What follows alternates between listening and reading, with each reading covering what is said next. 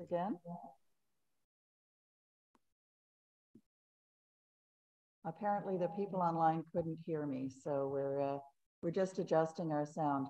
Um, some of you may be familiar with Dr. Chalker Scott's work on the Garden Professor's blog and Facebook page.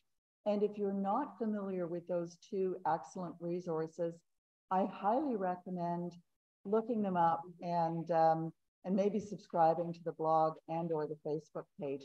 If you have questions about the science behind gardening, these are two excellent resources to share. And so without further ado, I'm, it's my great pleasure to welcome Dr. Linda Chalker Scott to the Ottawa Horticultural Society. Well, thank you, Rebecca, and I'm really pleased to be here. I wish I could be there in person with you, um, but this is one of the best things about the pandemic I can think of is that this gives me an opportunity to reach people that I normally wouldn't be able to reach. So anyway, I know that um, Rebecca has a handout for you, and I'm not sure if that's electronic or if it was run off or whatever, but my main uh, point for mentioning it is that it has links to all of my websites and um, resources on the back. And so I want to make sure that you're able to, to download that and use that because that is good information for you. So um, the title of my talk, even though the, the front side says something different, is, is honing your, your, your BS detector, your bad science detector. And so I'm going to just talk about the processes by which um, gardeners can kind of go through information and figure out if it's good, bad, or otherwise. And a lot of this kind of gets into the nitty gritty about peer reviewed resources. And we'll talk about that at the end. I'm going to start off with some pretty simple stuff. So, whoops, see here. It does not want to advance. There we go. Um, so first of all, I'll just briefly talk about how to evaluate information. And then we'll look at some specific examples of things, including products and practices and phenomena that are associated with um, gardening or maintaining landscapes, all the things that we love to do. Then we're going to spend uh, a bit of time talking about what happens with peer review, which is supposedly the gold standard, but sometimes it doesn't work, and we really need to understand why it doesn't work. And then, of course, I will stick around until the last um, the last dog is gone. I think is what my mom used to say, and um, answer your questions. So this is um, a manual that a colleague and I uh, put together a few years ago. It's a peer-reviewed publication. It's um, a free download and is geared towards non-scientists. And it really is just a way of learning how to become scientifically literate in terms of being able to discern good from bad information. And as, as it says there, you can actually use these skills for any topic. It's not just gardening, um, but of course, we're all interested in the gardening part. And it starts with what I was initially calling the credibility objectivity sieve because I'm an academic and that's the type of things that academics would say. But turns out that calling the crap test is a lot easier for people to remember. So what it, what it basically boils down to is taking information, which is going to be that raw material there, putting it through a sieve, and maybe you end up with gold, and maybe you end up with crap. And what crap stands for is credibility. So how credible your source of information is the relevance of that information to you as a gardener, as opposed to a farmer uh, managing a field. Accuracy of the information, how current is it? It doesn't mean it has to be brand new. A lot of research has stood the test of time, but with our field of urban horticulture, the science is very quickly evolving. And so more likely than not, information that you read that's 20, 30 years old was probably not very accurate anymore. And finally, the purpose. And so for myself as a professor in urban horticulture and also an extension specialist, you know, my purpose is to disseminate education. Um, other people are telling you things have other purposes. And I won't dwell on what those might be, but you just have to ask yourself, why are you getting this um, sales pitch, whatever the sales pitch might be? So that um, uh, publication I told you about will explain to you in a lot of detail on how to go through the different components of the crap analysis but since I don't want to take um, hours and hours and hours of your time, I'm going to just um, kind of jump right into it. So we're going to look at things that have no supporting science. And so that just means either there's been no research at all, and you'd be surprised how many things are out there floating around that there's absolutely not one shred of research to support it. Or it might mean that it's inconsistent research, meaning that sometimes it works and sometimes it doesn't. And as an educator, I can't recommend anything that doesn't have a consistent um, track record to it. And the third area is there might be um, research out there that seems to be very supportive, but when you start analyzing it in terms of the CRAP analysis, you find out it's, it's very poor quality research or bad reporting, and it's not um, something that, that you should probably take uh, very seriously. The second group of things uh, fall under misapplied science. And so when I mentioned uh, relevance, um, you know, us as gardeners and, and people that like to putter in our landscapes are managing systems that are quite different than agricultural fields. But unfortunately, a lot of the products out there that were developed for agricultural use have been pushed into the gardening market. And we have to make sure that we're not using those because the, the goals of a farmer are much different than our goals as gardeners. And finally, there's the over extrapolated science. And this means um, things that work well um, in the lab and maybe even work well in a greenhouse or other very controlled situation, but they don't work well outdoors. And it also includes um, phenomena that we notice um, and unfortunately uh, assume that because we're seeing these two things that one is causing the other. And um, that's, that's an interesting topic to, to discuss. So those are kind of the three major areas that we'll talk about tonight. So the first list is of no, no, consistent, reliable supporting science. And unfortunately, this is the longest list of all which isn't very surprising because at least in the United States, there's absolutely no regulation of any garden products except for fertilizers, which are regulated for um, their mineral content, and pesticides, which are regulated by the EPA. So things that are, that are marketed as pesticides or fertilizers are overseen by some agency. Everything else is fair, fair game. So it really is the Wild West. People can do and do and market whatever they want, however they want to market it. And it doesn't even matter if it's just complete lies. Um, there, there's no recourse um, if you were unfortunate enough to buy into the, the stories. So the products that um, fall into this are things like balanced fertilizers, so like 10, 10, 10 or 15, 15, 15. Um, compost tea, conditioners, these are soil conditioners. Kelp products, uh, the superiority of organic products over conventional products vitamin B1 as a transplant fertilizer, and wound dressings. And so obviously I'm not going to be talking about all these things. I'm just going to be um, doing, um, you know, example for, for each um, general topic, but we have time for questions. And so it's any of these things that you really want to jump in on um, at that time, we can do that.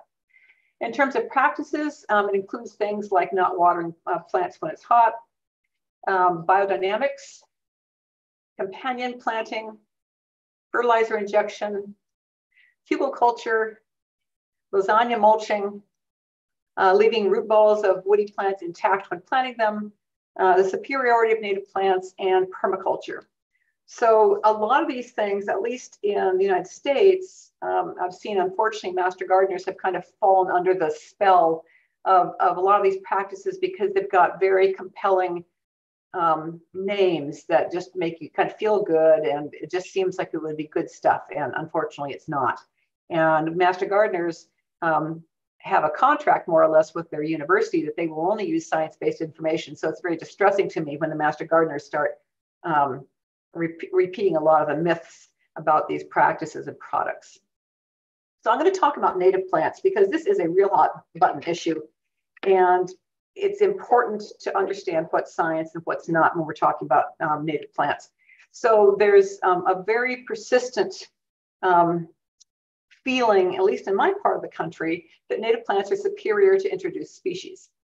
And there's lots of reasons that are trotted out for this, but what I want to show you um, visually is evidence why this isn't necessarily true. So I don't know if you all have um, Gaultheria shallon in, um, in your part of the North American continent. I don't think it occurs over there, but anyway, this is called salal. It's a really nice plant, um, very, very easy to grow um, under the right conditions. It's got glossy green, evergreen leaves. It's got these really pretty little bell-shaped flowers, and then it has um, edible fruit. It's kind of mealy. I don't particularly care for it myself, but, but wildlife loves it. So it's a great wildlife plant. It's a very aesthetically attractive plant. And this is what it looks like in its natural environment, which is underneath a canopy of generally evergreens. Unfortunately, we've kind of taken all those attributes and assumed that when we stick them out in the middle of a parking strip that they will look just the same. And of course they don't. Um, they're not adapted to urban conditions, especially high light, uh, dry conditions, air pollution, and all that kind of stuff. And so what happens is that they don't they don't thrive, and then they become susceptible to opportunistic pests and diseases. So unfortunately, they just get used a lot because they're natives, they're easy to find, and ideally, they're very attractive plants. The question you have to understand is that there aren't there aren't anything, uh, well, it's not a question so much, but uh, there aren't plants that are native to urban areas. Um, urban areas are obviously developed, they're not natural, they have very artificial conditions in many ways. And so we can't assume that whatever used to be there is similar to them in any way, shape, or form.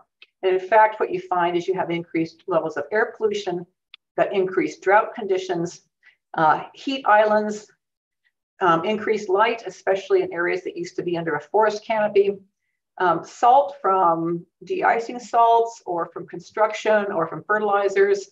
Um, the soils are nothing like what used to be there. And the pests and disease um, have a field day because they've got, there's lots of um, landscape plants that suffer. And so those become targets for opportunistic pests and disease. Um, so what we have to look at is, is the evidence about native and non-native plants and uh, well, trees and shrubs. So woody plants are what I'm really focusing on because it's the backbone of a landscape. And what I did is I went into the literature and um, gleaned about 140 different articles that compared landscapes that had only native plants to landscapes that had a mixture of native and non-native plants to see which ones supported wildlife better because that seems to be the impetus for a lot of this native plant um, perception is that we can only support our wildlife if we if we have uh, native plants. And so what is what is true is that if you have properly selected non-native trees and shrubs along with you know appropriate native plants, whoops, Yep. Um, that they will tolerate your urban conditions, so they're not going to look like that forest salal. They support wildlife and they enhance the biodiversity of urban landscapes. So there are many, many things that are not noxious weeds. They're not invasive. They cause no problems, and they've been on this continent for, for decades, if not centuries, and they haven't caused any problems. So there's really no reason not to consider them be part of, of your garden or landscape because they do provide all of these benefits. So there's nothing about the nativity of plants that is particularly important in terms of supporting native wildlife, with the exception of those specialist insects and other and, and some plants um, that do require a particular host. But that is a, a, a very small minority of all the wildlife that's out there. So um, I want to show you a picture of um, a bumblebee. And so this is one of our native bumblebees. It's the white bottom bumblebee. And for many years, um, entomologists had thought that this was uh, an extinct species, at least in our state, because nobody was finding any. And then um, a photographer, an amateur photographer, about 15 years ago, took this picture up in the northern part of, of Washington state. And the entomologists were delighted to see that the white bottom bumblebee was actually still around. And this um, plant that it's on is uh, Himalayan blackberry, which is one of our listed noxious weeds. And I'm not advising or recommending that anyone plant this as a resource. My point is, is that insects and other wildlife learn how to use other resources. This is kind of a basic tenet of ecology, that if you bring in a new resource that doesn't have any herbivores or anything else that's using it, um, populations of insects or birds or whatever will learn to use it, and then it becomes part of the food web. So yes, it's an annoying plant, um, no, I would never plant it, but the fact is that it provides a abundant amount of nectar and uh, pollen and fruit for a lot of the wildlife that don't have our native plants anymore, especially in urban areas. So we have to keep that in mind is that uh, we may not like these things because they're not native and they're not, they don't have any particularly nice attributes, but that doesn't mean that wildlife won't use them. So looking at this literature that, that I um, analyzed, to have the greatest biodiversity of landscape of, of wildlife, sorry, in your landscape, there is there is some there is a few key points. The first was is you have to have diverse vegetation. So that means having ground covers and bulbs and annuals and herbaceous perennials and shrubs of all sizes and trees of all sizes. And it's that diversity that allows you to support more wildlife. The second part is the vertical structure. And the, the more vertical structure there is and the layering effect, um, the more niches there are for wildlife to find habitat to nest and, and, and to be safe from predators. So the nice thing about these two facts is that the things that are attractive to wildlife to us are really aesthetically attractive too. We love having a diversity of plants. We love having structure and you know three-dimensional structure to our gardens, and that also benefits the wildlife. And then having the food nesting sites, you know, whatever those are for your desired wildlife is important. And I think a lot of us are pretty good about figuring out how to bring in and maintain um, pollinators, whether they're birds or insects. Um, so, and a lot of plants will provide that without us having to go to the trouble. So if you're interested in this topic more, I published um, two papers on it. Um, one was the, the literature review, which was in Arboriculture and Urban Forestry um, in 2015. And that was looking at all of these papers and it's, you know, it's a scientific uh, journal article. Um, it's not difficult to, to read, but you may not want to slog through it. And what I did as well is publish um, a peer-reviewed fact sheet, which is uh, kind of a I want to, I don't want to say reader, well, it is kind of a Reader's Digest condensed version of the, the journal article that also has a list of action items for gardeners on what they should do if they want to bring more wildlife into the landscapes. So this is kind of my, my job anyway, as I do a lot of research and I publish in the scientific literature, and then I try to adapt much of that scientific literature um, for gardeners and other people who, who love to have plants. Okay, so that brings us to our second category, which is misapplied science. And so this includes products such as anti-transpirants, Epsom salts, gypsum, hydrogels, and phosphate fertilizer, especially for transplants. And then practices include things like amending the soil before planting uh, trees and shrubs and foliar fertilizers. So what I'm going to talk about, because it tends to be a, a complicated problem and, one that I still am disappointed to see that, that many um, landscape companies still follow, is amending the soil before planting. So what the myth is here is that before you want to, you know, plant trees and shrubs, you want to work lots of organic matter into the soil to improve it, which seems to make sense. But this is one of those things where it's really based on planting a crop and is not based on any kind of science that's relevant to using trees and shrubs or anything that happens to have more than an annual lifespan. And this picture kind of encapsulates the, the problem, which is if you take a rototiller to your yard every year to uh, work lots of organic matter in, then the things you've already planted, like those poor camellias right there, will have absolutely no roots left by the time you're finished. So we can't have this practice um, as a way of improving soil if we're talking about landscapes. So we need to get away from that and we need to have a different model, which would be like a forest uh, model as opposed to an agricultural field. So when you do this, um, there are some long-term effects. The first one's pretty easy to see, and that's that you'll have standing water a lot.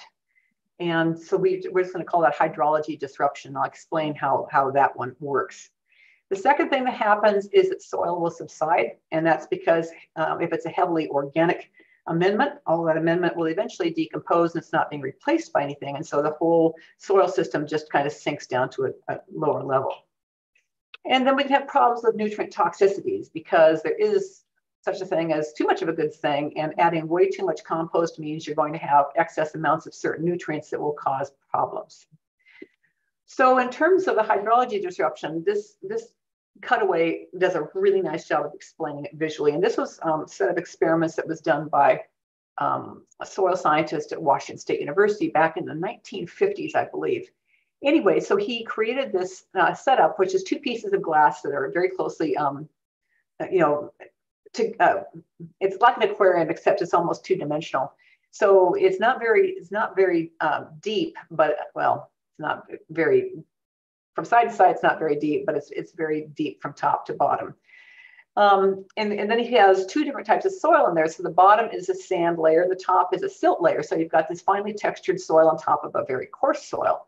And then what's happened is that he's put an Erlenmeyer flask on top of that, which is dripping water into the soil system. And you can see with that top picture that what's happening is the water is moving down more or less uniformly, both horizontally and vertically.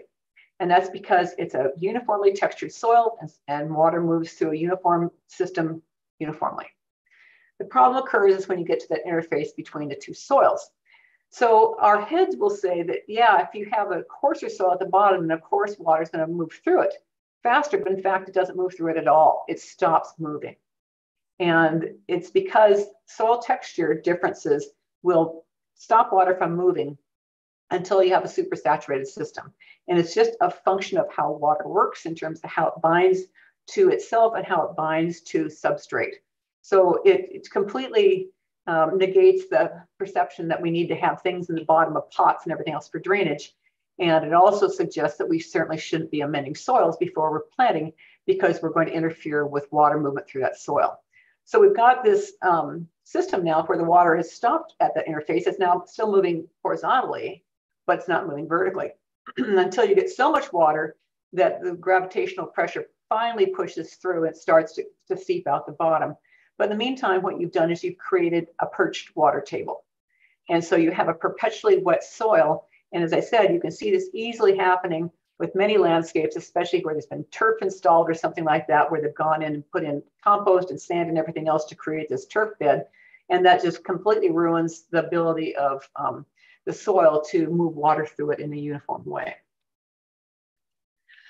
Okay, then there's subsidence, and this one's pretty easy to see. Also, um, this is this is my favorite example, um, which is a very small isolated landscape that has a single Japanese maple in the middle of it, and you can see this kind of sitting up there perched above everything else. And it's because, as I said, as organic matter breaks down, if it's not replaced, um, then all the inorganic matter just settles and, and forms a compacted layer of inorganic material. So you can see where the soil used to be, which is where that brown line is. And then you can see where it is right now. So over time, you know, several inches of that soil has um, the organic part of it's decomposed, it hasn't been replaced, and so the whole um, soil system has settled several inches below grade. The third problem is with over-amended soils, and I can't overemphasize the importance of having a soil test done at least once. So you have baseline values for what your soil has and what it doesn't need more of. So if you have a soil test that looks like this, where you have everything is off scale, you know, above optimum uh, might sound like it's good. It might sound like A plus. It's not. It should say toxic because it gets to the point where this is going to interfere with the plant's ability to survive and it's toxic. So if you have um, a soil test that says your macronutrients are above optimum and you go over and you look and see that yes, we've got phosphorus. In this case, it's at 45 parts per million. Optimum range is 14, 4 to 14 parts per million, and it even tells you phosphorus is excessive, then you will definitely have some problems with your plants. Um, without going into a lot of detail on this, uh, phosphorus interferes with the plant's ability to take up iron and manganese, and so you'll get all kinds of deficiencies in the foliage, which looks like you're, you know, like you're missing something in the soil, but in fact, you're actually missing um, things that are, uh, in, well, it's in the leaf, and the problem is the plant can't take up the nutrients it needs when there's too much of something else there. So there's lots and lots of research on nutrient deficiencies, very little research on nutrient toxicities, but it's kind of one of those newer fields, especially in soil science, where they're trying to trying to figure out how toxic levels of certain nutrients interfere with uptake of other necessary nutrients. So um, if you're interested in hearing more about soil in terms of how you manage it um, and, and having you know a good structure and and and um, functionality for supporting plants, this is an um, article that my colleague from California and I wrote a few years ago, and it's in the Journal of, of NACAA, which is the um, extension organization in the United States, and it's free download. It's peer reviewed and it is targeted directly towards people that are interested in gardens and landscapes. Okay, that takes us to over extrapolated science. So this will include the products such as corn gluten meal and Harpin and probiotics, which include both bacteria and fungal types of uh, inoculants. And then there's phenomena that we think are actually important in the landscape, which aren't. And this includes allelopathy and humus formation. and as I said, I'm not gonna be able to talk about all these things, but if you want to hear more about some of them, at least a short bit about them, we can, we can do that at the end. But we're gonna talk about microbial inoculants because they still seem to be a big deal. And so what you're told is if you buy things like the, mic- the mycorrhizal inoculants, that it will improve soil health and enhance root growth and improve plant establishment. And it's absolutely true that beneficial microbes will do all these things for plants. It's, it's not even an argument. The question is, are things that are in a bottle or box going to work? And that's what the research um, did with these particular products is, is test them to see if they actually had an effect.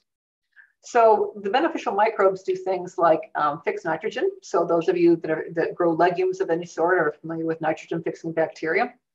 And uh, there's also a function that, that some uh, bacteria have in terms of kind of creating a sheath over the outside of fine roots. Um, and that protects those roots from being attacked by pathogens.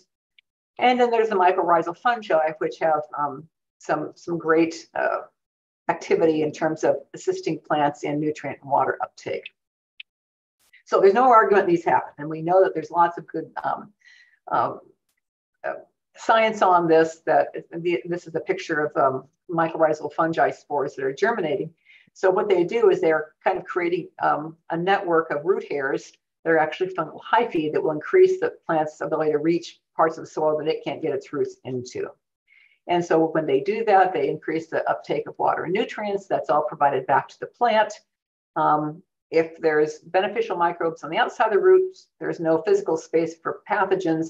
And finally, some of these guys can actually destroy pathogens.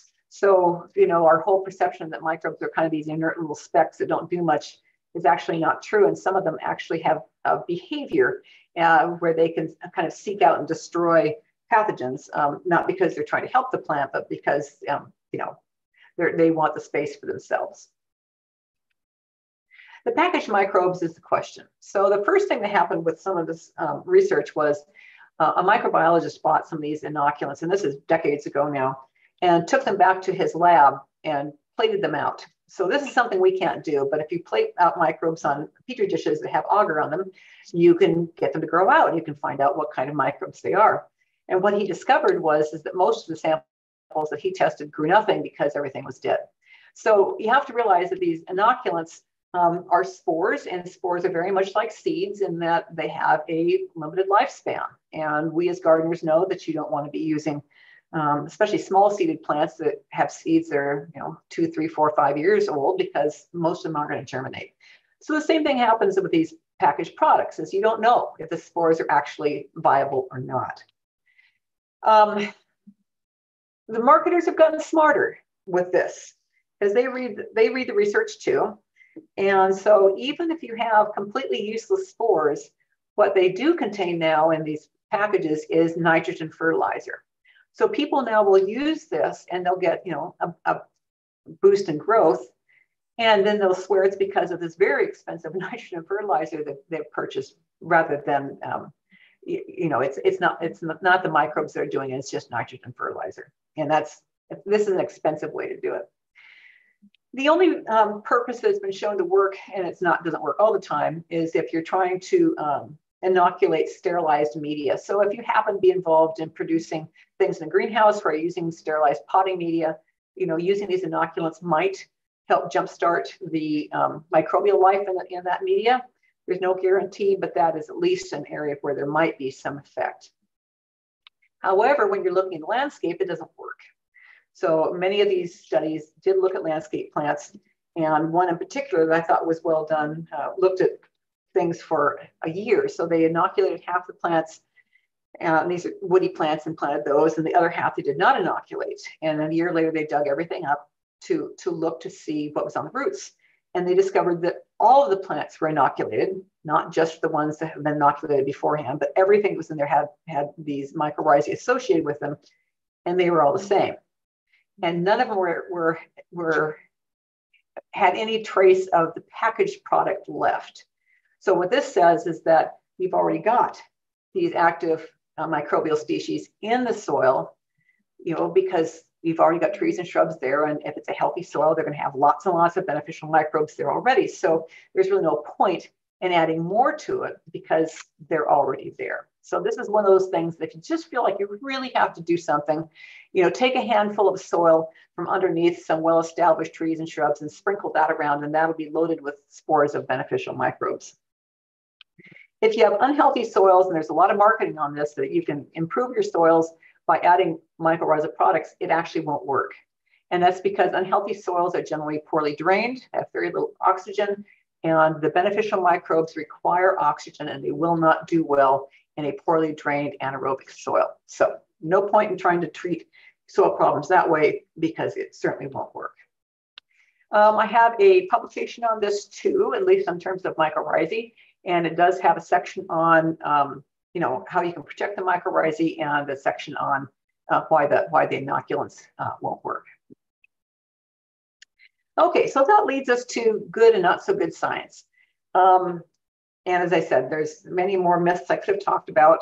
And the nice thing is, is that if you have the handout that um, Rebecca's uh, provided to you, it does have all kinds of free resources in terms of learning about some of these other uh, products and practices. But I, what I really want to spend time with is, is talking to you about how to judge what's good and what's not so good science.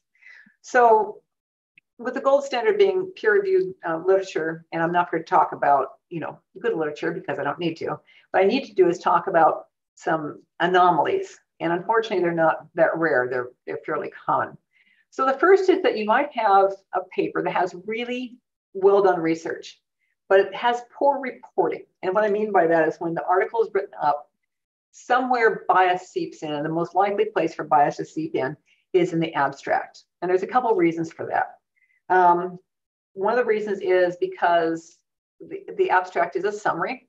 And a lot of times, if you're if you're biased, and we, we're all biased, and sometimes you just don't know you're doing it, but you tend to be selective in what you put in your summary. So you selectively highlight the results that you're really excited about, and you kind of downplay things that you're not so excited about.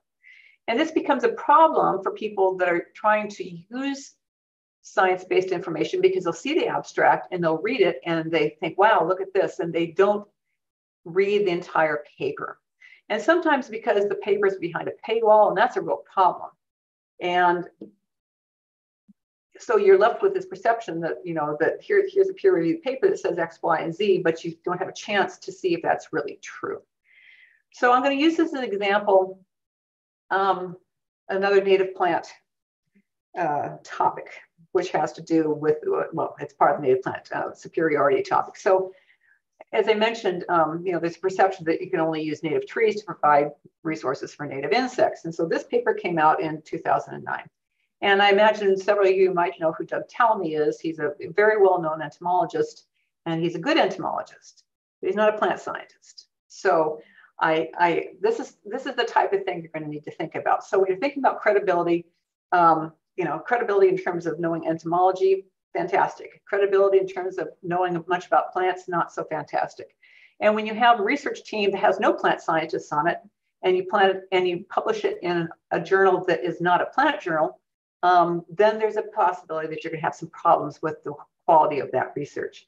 So this was, um, you know, one of these topics or papers that, that I came up with when I was doing the um, the review. And so I got into all of these papers very carefully. And this one stood out because it was not well, well done paper. So in the methods, but what you're told is that we labeled all the genera, so these are all the genuses, that were that contained native species that were in the geographic distribution of where they were doing the study, which is in the mid, mid-Atlantic region. So there was 103 genera, and they combined all the species in a genus together you know, as, as a genera, even if the genus contained one or more species that had been imported for use from Europe or Asia.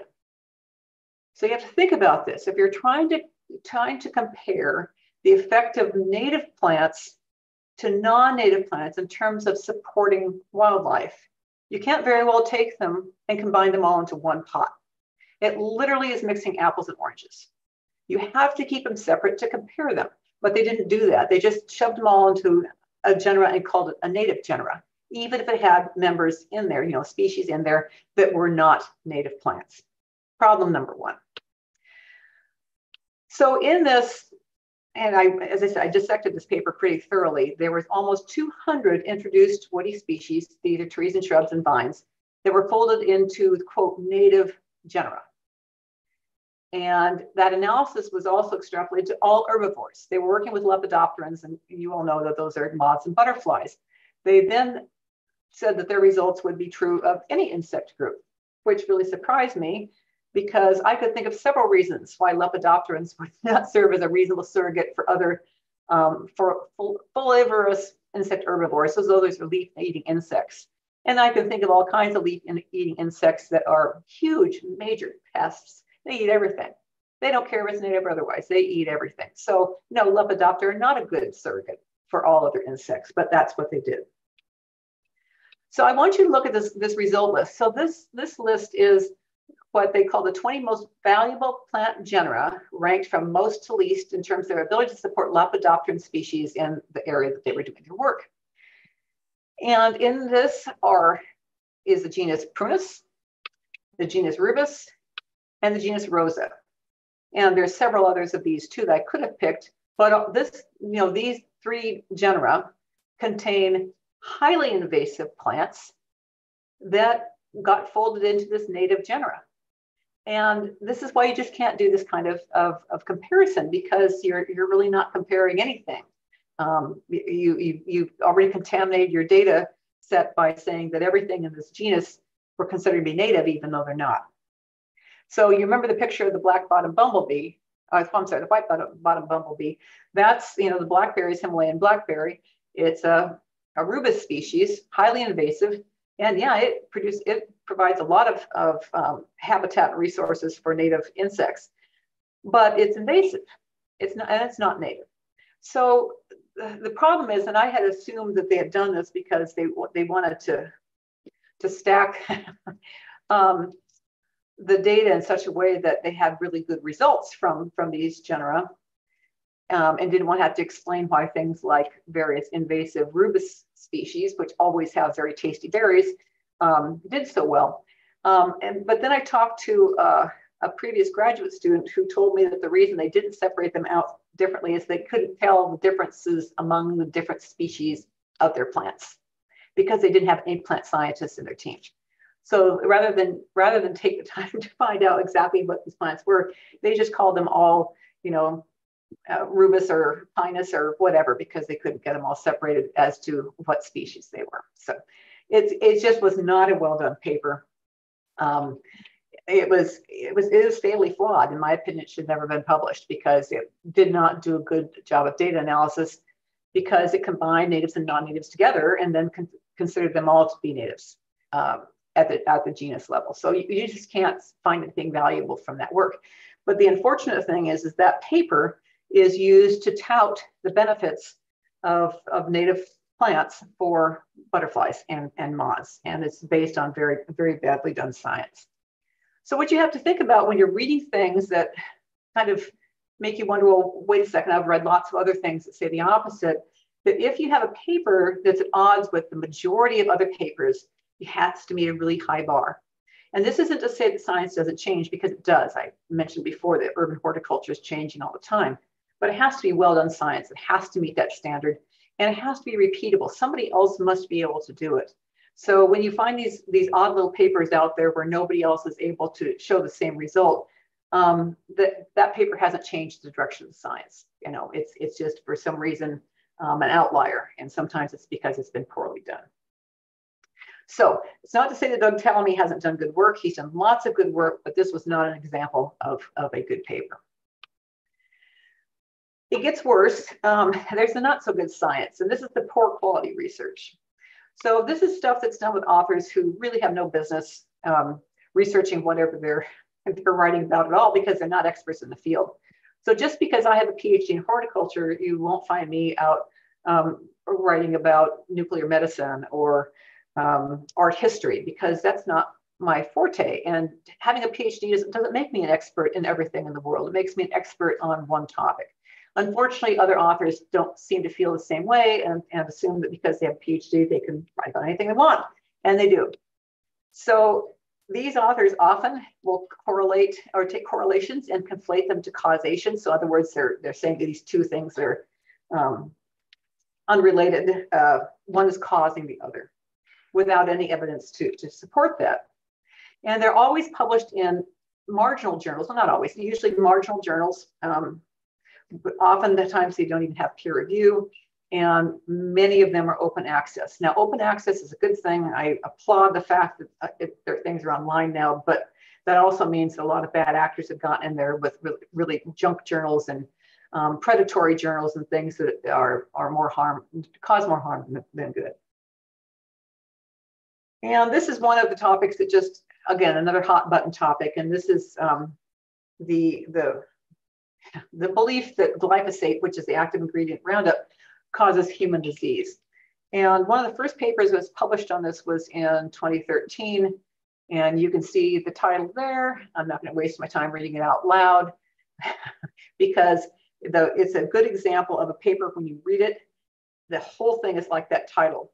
When you're reading it and you're and you feel like your head is full of cotton and you don't understand it. And you have to understand that I do read things like this. And I, I one of my minors was in biochemistry, so I'm really into biochemistry anyway. And I, I read this paper and I could not make heads or tails of it. It just made me feel dizzy trying to, to sort it out.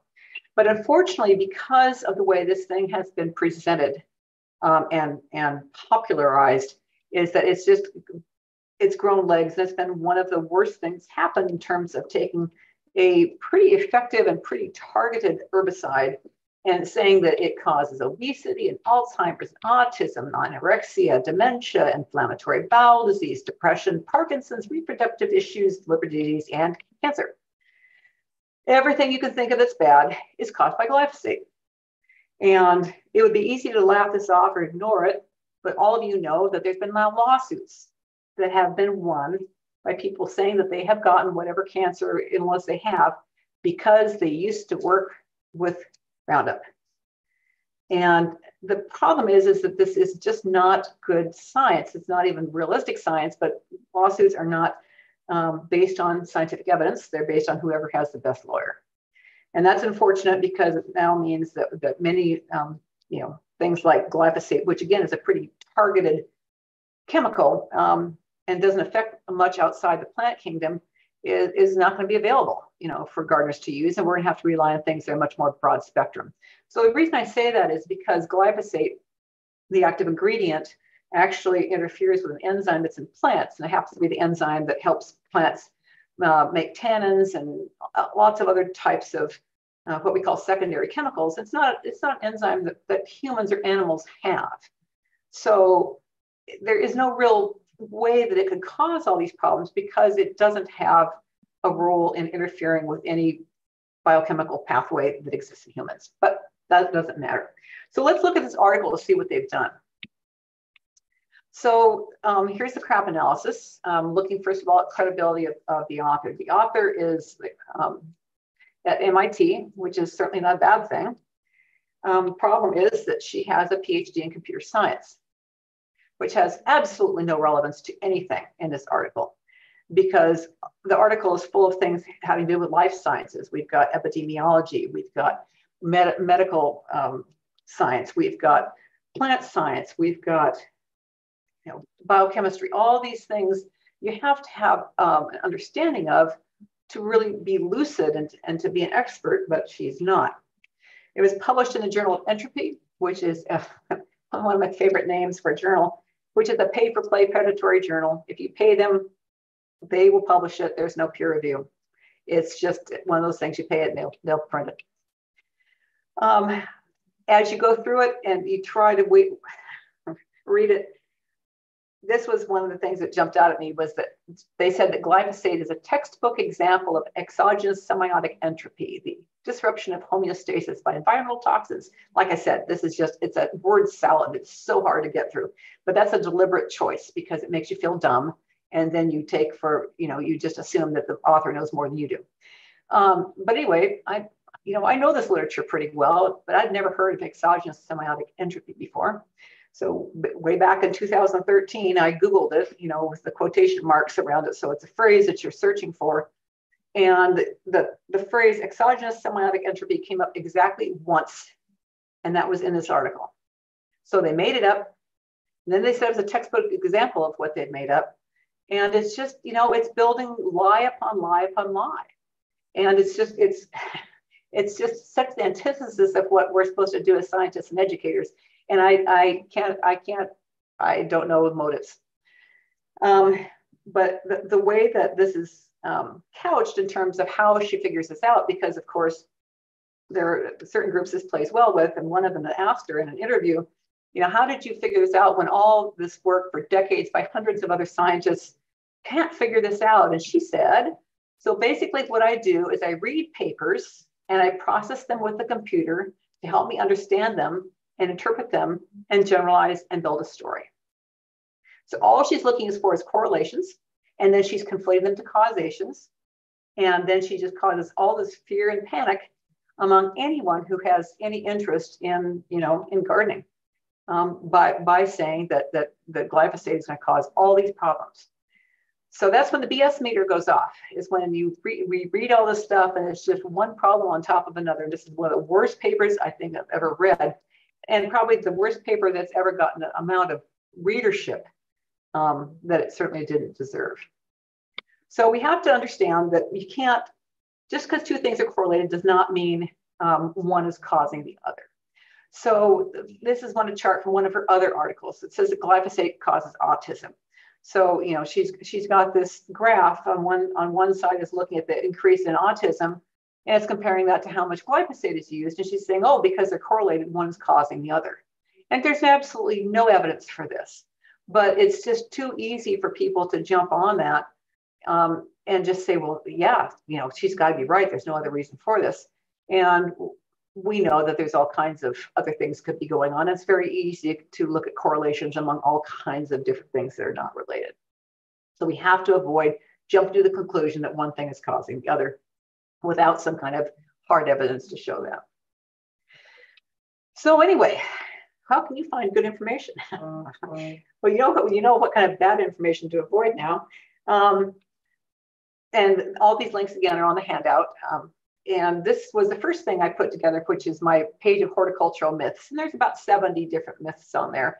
And so these are white papers. And what a white paper is, is just, um, you know, it's a, it's a, it's a scientifically researched paper, but it doesn't have, it's not gone through peer review. And I don't have references in there because when I first did these, it was for the benefit of the nursery industry and I was doing it for their magazine. Um, so it was just, you know, my take on a, a whole bunch of different myths. And then after a few years, I just put them all up on the web because I figured out figured they might as well be might as well be available to everybody. So those are available for free downloads. I mentioned again the the scientific literacy manual that I hope you will uh, download and, and enjoy. Um, it's not written for a scientific audience. Um, it really is written, it's actually written at a 10th grade level. So anybody who's um, out there gardening is probably going to be able to, to, to make their way through it okay. Um, I've published a number of books, um, which you already may know. Um, my myths are encapsulated in these two books, which are the Informed Gardener books. And I have a, a book on um, more or less soup to nuts, garden design, all the way up to uh, troubleshooting um, with landscapes and gardens. And this is a compilation of chapters from, I believe, 22 authors, uh, most of them associated with, with the universities and um, is, is a nice look at the science behind what, what are good practices. Um, how plants work is really plant physiology for, for gardeners and understanding what plants can and can't do. And, and like, like someone, someone had said, I think is one of the reviews is that, you know, the, uh, the, the science is so much more entertaining and amazing than the, uh, than the, the myths that surround what plants do.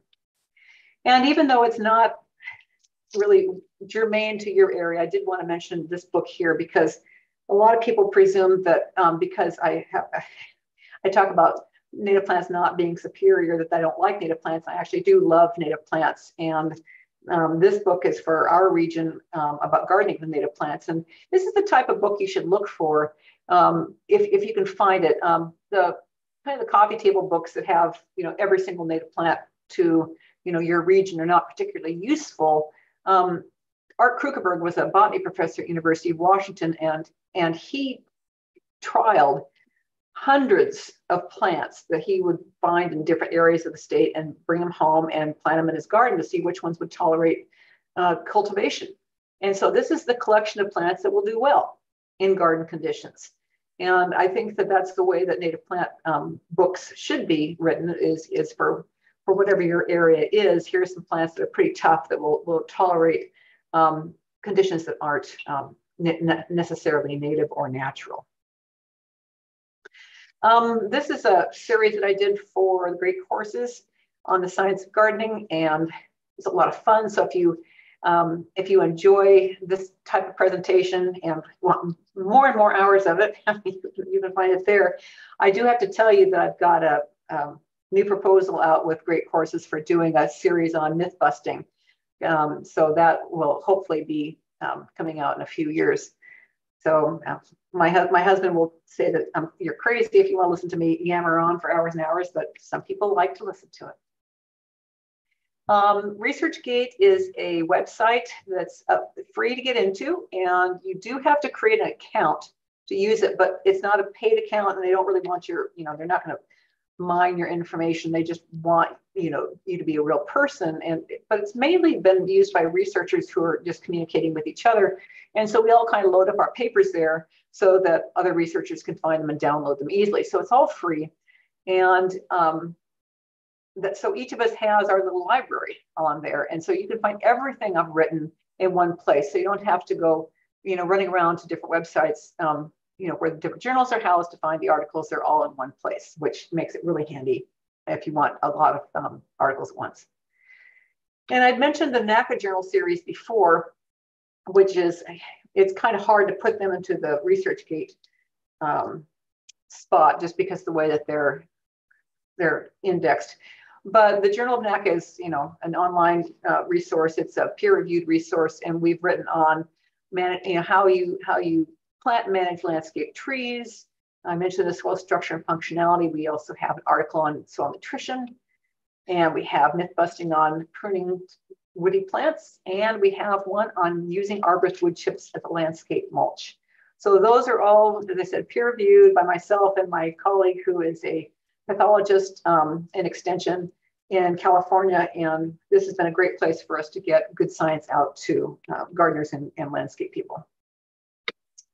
As Rebecca mentioned, we have a blog, and the blog's been going on since 2009. And it's, it's pretty fun because uh, we take turns. Um, everybody takes it takes a lap once a week, and so there's a you know a new post on some topic. And the nice thing is it's got that search box there so you can look the archives on any topic and find all the different posts that have occurred since 2009. We have um, vegetable specialists, we have me, um, we have a atmospheric, sci- uh, ag- uh, atmospheric scientist who works in agriculture. So she, you know, she's concerned with how um, uh, weather conditions are affecting plants, which is really important right now. Um, we've got lots of other people that, that will write once in a while on various topics. So it's, it's a good place to just kind of sit and read, and you can um, sign up for notifications when a new um, post drops so that you can always be right there when something new comes up. Um, we have a Facebook page, which is kind of a clearinghouse. It's not something that we have a this discussion. It's just you know, top-down um, information on websites or blogs, sometimes just fun stuff. It's very popular. I have a, volunteer administrator who runs it, and I think we've got like 45,000 um, likes on it or something like that, which is really pretty darn good for something that's a science-based um, page. But I think that the thing that is most useful um, when you've got questions and you want a more kind of immediate dynamic experience is the Garden Professor's blog group which right now has got just over 27,000 people. You know, our, our mission is, is that we only discuss science-based information. We don't do anecdotes, we don't do home remedies, we don't do yourselves. It's all science-based um, and relevant. And there's somebody on there all the time. We, I think I've got 12 volunteer administrators to help kind of herd the cats so that things don't go off the rails. Um, like we've been discussing just recently today about should you leave um, leaves on your lawn or, or, or what should you do with them? So there's been quite a bit of discussion on that. So it's always pertinent, it's often seasonal. And again, uh, this is something that's been around since 2011, and there's an archive there that you can go look from, at posts that are, you know, over 12 years worth of posts. Um, it's a it's a real um, wealth of information, and I learn something different every day because I am not an expert in everything. So anyway, I hope that um, you've come up with some questions you might like to ask, and I'm happy to answer them.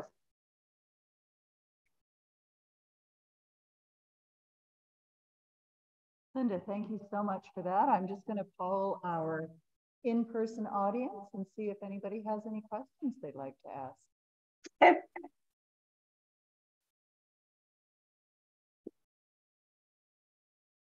Yes. Go ahead, please. Oh, we're going to get a going to get a microphone.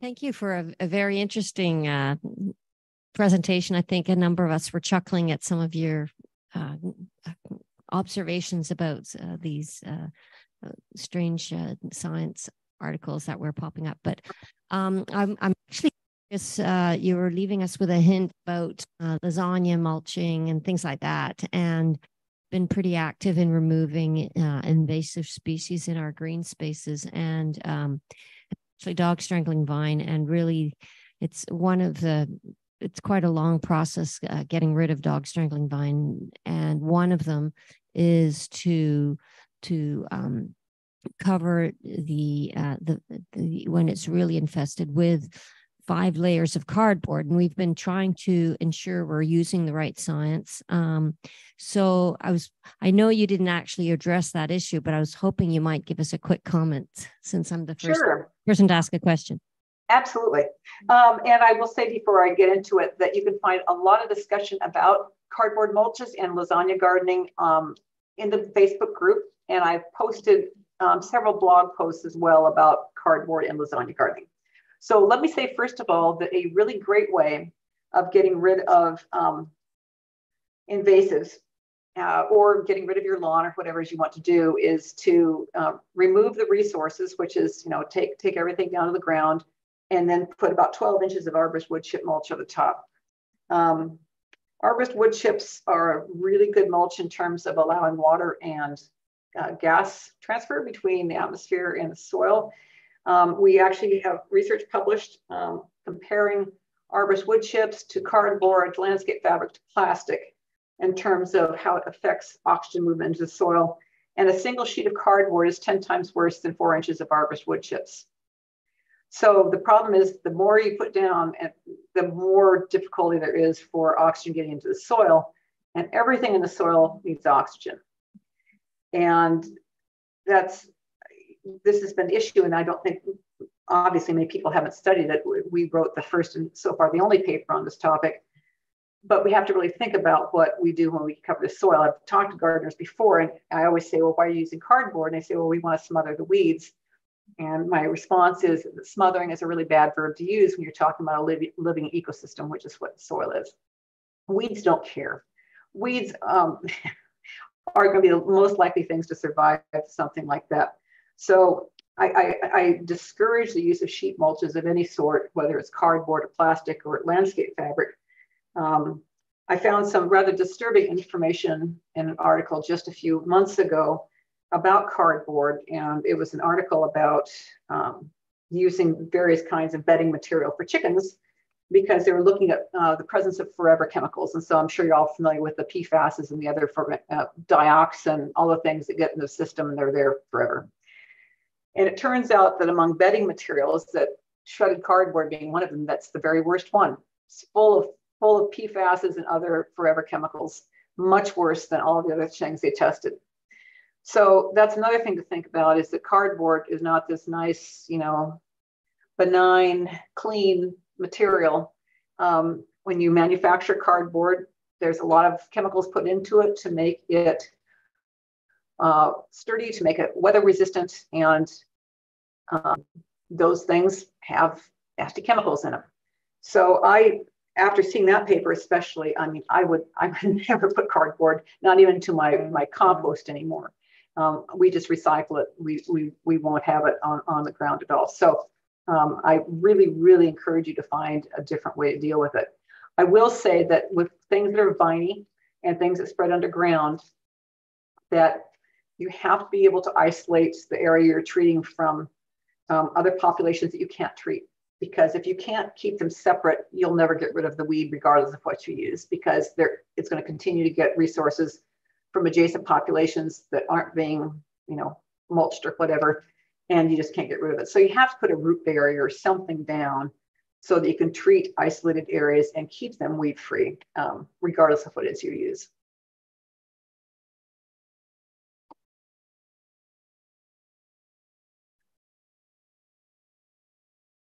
Another, for the benefit of our on our online audience, we have another question. Uh, hi, thank you so much for the presentation. We had a discussion just before you started talking about tree planting. Mm -hmm. um, the government of Canada is planting many, many trees. Um, and my concern is, have you ever consulted governments on tree planting and how to do it to ensure that the soil actually allows them to grow properly?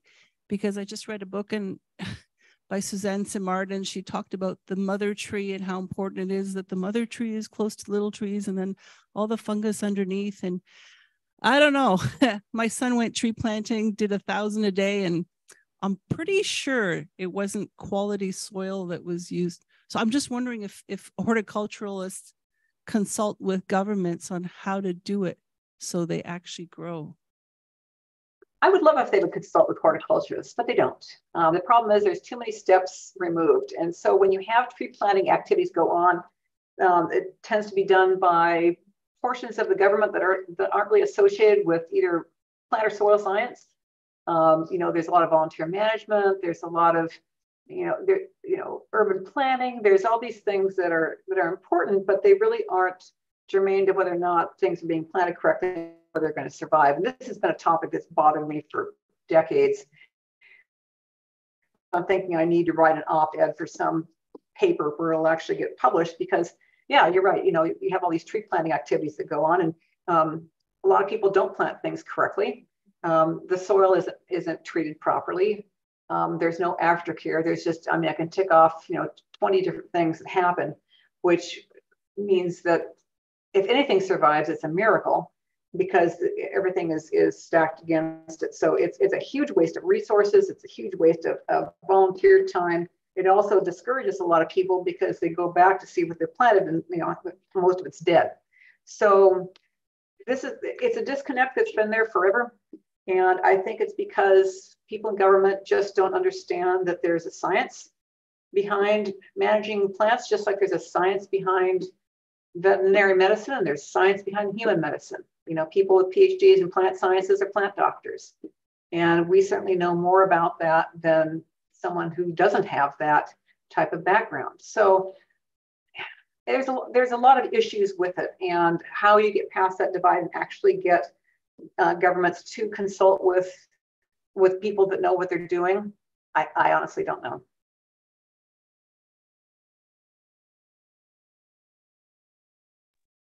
Any more questions in the hall? And I'm going to check online.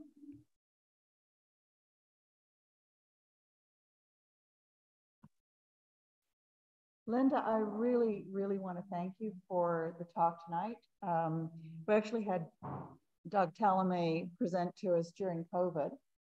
And um, I know he was, his talk was very inspiring for a lot of us. Um, and we have a very strong emphasis on native plants in within the community of, of people who belong to our, our gardening club. So it was a little bit shocking to hear that um, some of his research may not be right on right on the money.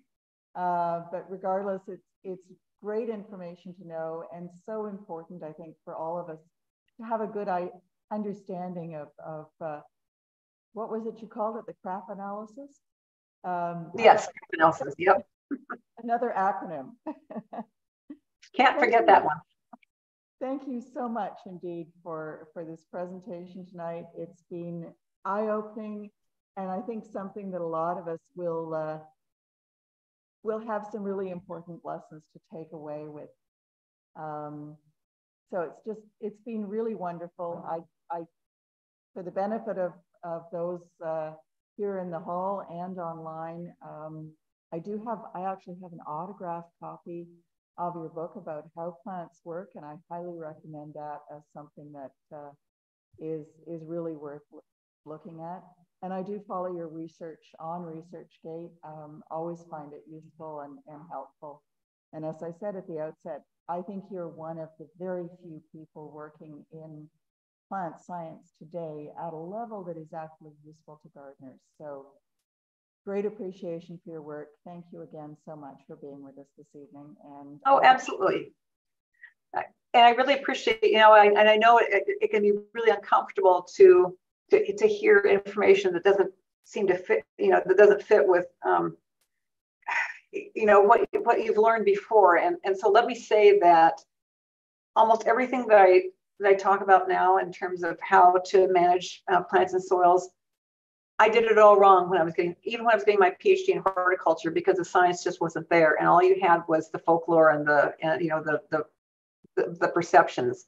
Um, the nice thing is that now, um, let's see how many years is it now uh, 30 40 years later um, there's a lot more science than when i was getting my degree and it's it's it's fun for me my my perceptions of what's going on change all the time so i think that's what's great about it is that you know it's dynamic it's changing it's evolving we're understanding so much more now about how soils and plants function than we used to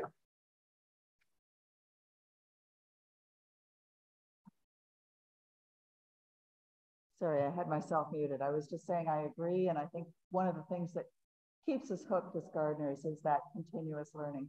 Thank you again. Absolutely. You bet. I'm going to say goodnight now to uh, our online audience. I'll just do one last quick check and make sure we. Uh, oh, yeah, questions. Um, you've got some folks online who are interested in buying your books. So oh. we'll, we'll, share the information about how they can do that. Well, most of them, yeah, most of them are on Amazon. That's probably the easiest way to do it. Thank you again, and best wishes for the season to uh, to come. Thank you. You too. Have fun. Good night.